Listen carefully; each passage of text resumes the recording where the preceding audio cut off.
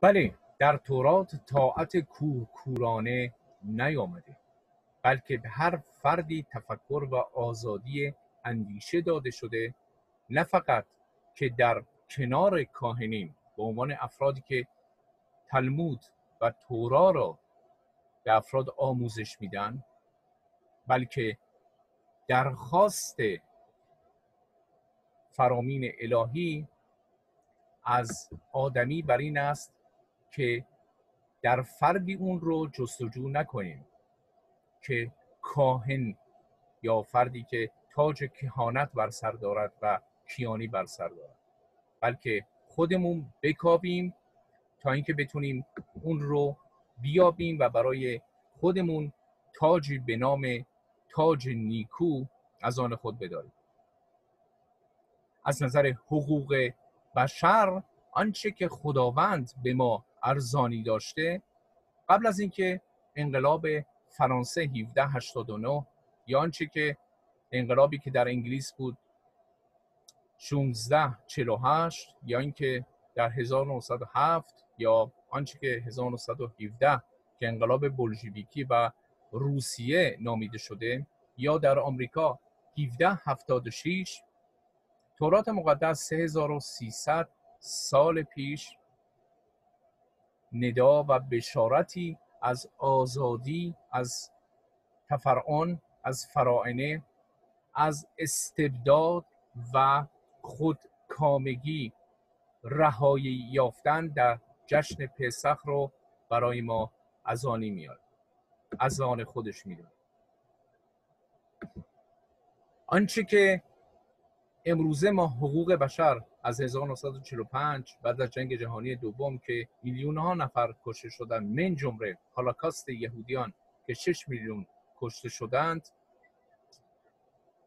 که اعلامیه حقوق بشر رو آمدند اونطور که باید شایده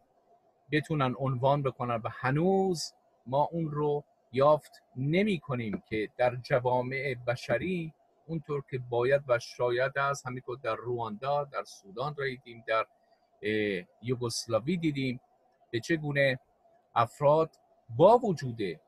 قانونمندی حقوق بشر میان جنوساید می‌کنن کشتار جمعی می‌کنن. ولی کشتاری که از به عنوان هالوکاست خوانده شده در جنگ جهانی دوم و کوره های آدم سوزی رو فقط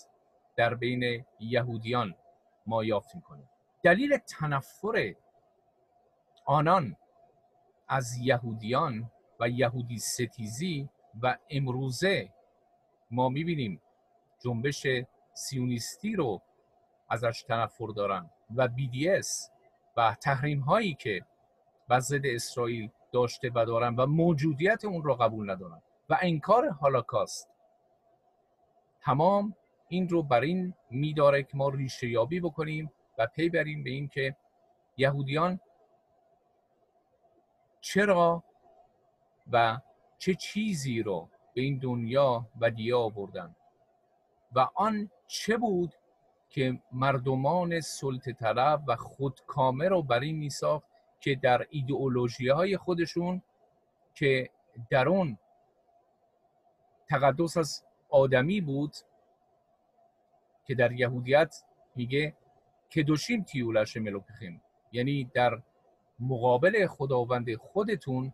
یکایک مقدس باشید. فردی رو تقدس نکنید. همینطور که یکایک انبیای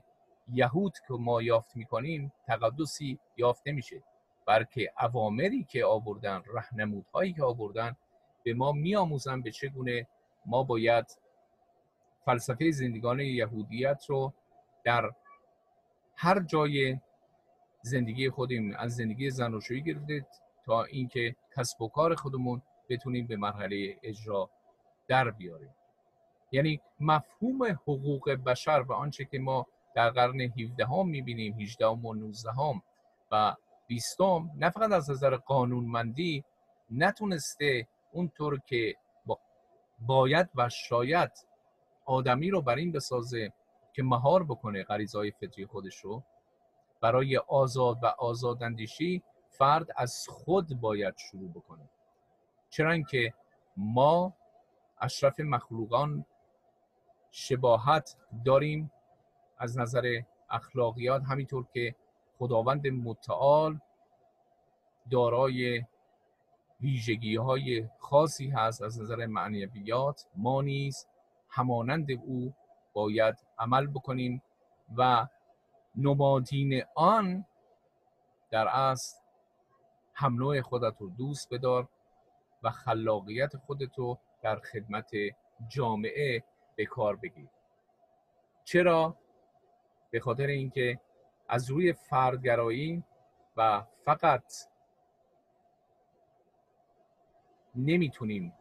آنچه که در غرب یافت می‌کنیم و اون بحران ایندیویدوالیزم هست باید انسان مدار بود و تا چند اندازه من بی دیگران می‌تونم خدمت بکنم که جامعه بشری از علم و دانش و بینش بتونم به پیش ببرم. همینطور که امروزه ما یافت می‌کنیم آنچه که انقلاب فرانسه بشارتی که برای ما آورد برابری برادری و آزادی رو ما در یهودیت در تورات مقدس یافت می‌کنیم که به چه گونه به هم نوع خودت و همینطور به کنیز خود چه برسه به برده خود آزادی ببخش و اگر شش روز کار می‌کنن روز شبات حتی افرادی که خدمتگزار تو نیز می‌باشند نیز حتی جاندار نیز یک روز در هفته احتیاج به استراحت و آرامش خاطر دارد. و این بشارت روز شبات روز آرامش و آرامش خاطر رو به دنیا یهودیت عرضه کرد.